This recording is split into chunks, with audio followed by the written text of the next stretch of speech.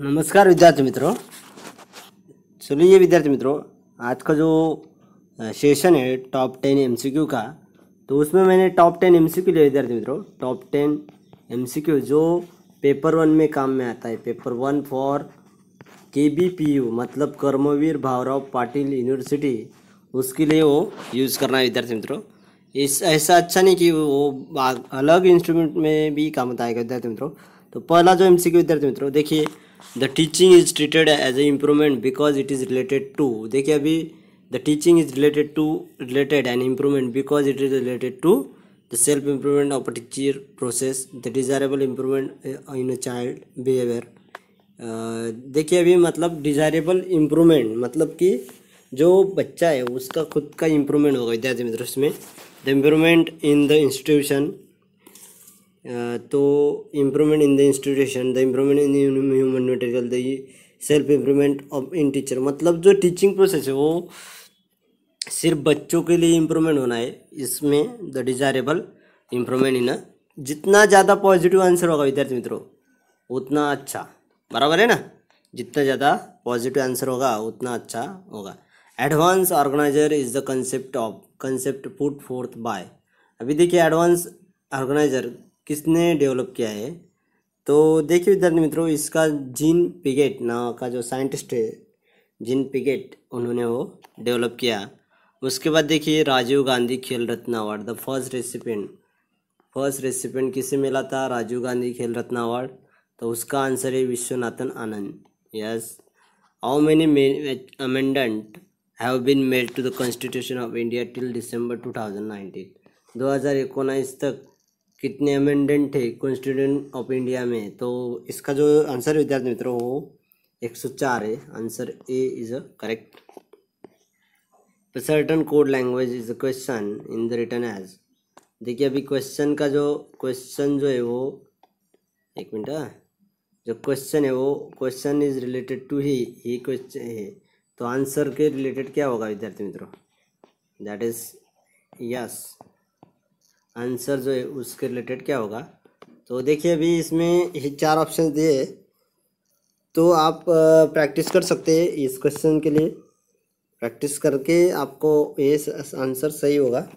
तो इसका सही आंसर है D D Q V D Q V Z H U yes it is a correct answer the two digit number is three times. मान लीजिए कि, अ, two digit number X and Y. Is three times three times the sum of its digit. X Y plus X Y is equal to X Y Z.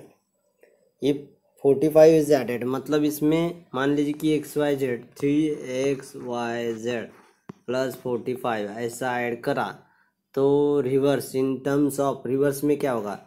तो that is answer is twenty seven तो देखिए विद्यार्थी मित्रों, इसका सही जवाब है twenty seven it is a correct answer twenty seven nine plus nine plus nine देखिए अब two it is number is three times मतलब मान लीजिए कि ninety nine plus ninety nine ninety nine plus ninety nine तो इनका opposition करने के बाद भी वही आंसर आएगा.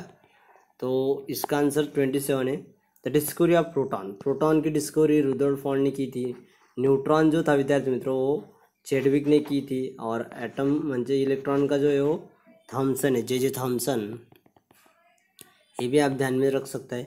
Bharat stage emission standard B E C was introduce in India based on European standard in two thousand twenty the India aims to achieve which euro standard तो वो it is a correct answer विद्यार्थी मित्रों।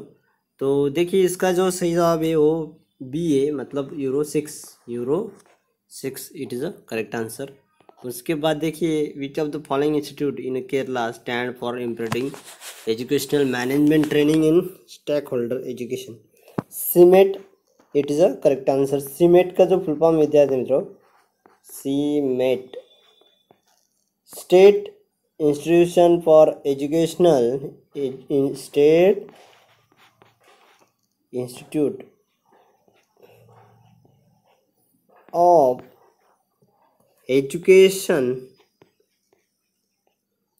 management and training. It is a correct answer SIEMAT the acronym of DIET DIET का full form विद्यार्थी मित्रों district institute of environment training district institute of educational training district institute of educational technology B is a correct answer तो आज का जो session है, विद्यार्थी मित्रों तो मैंने दस एम सी क्यू लिए तो आज का वीडियो यहीं पे समाप्त होता है। अगर आपको वीडियो अच्छा लगा तो सब्सक्राइब कीजिए शेयर कीजिए और लाइक कीजिए, विद्यार्थी मित्रों। धन्यवाद।